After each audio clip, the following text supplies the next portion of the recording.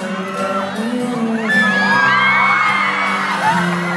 ka lang titigil sa akin at baka